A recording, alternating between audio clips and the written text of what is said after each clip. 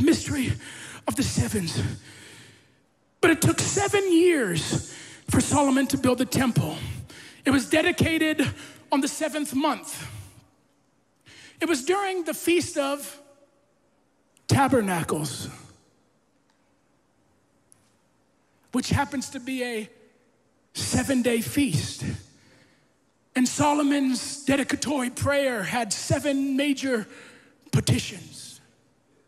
I don't think I'm being crazy or trying to read too far into the scripture, but I'm here to let you know there's more to the scripture than what meets the eye. You remember Transformers? More than meets the eye.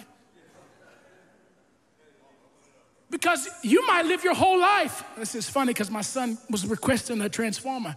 You might live your whole life with Optimus Prime as just a, a semi truck. But until you dig in and start playing with it, you're not gonna see him transform.